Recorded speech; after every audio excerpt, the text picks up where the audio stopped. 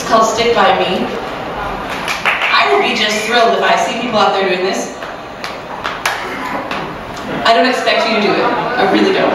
But it would be nice. I'm just saying.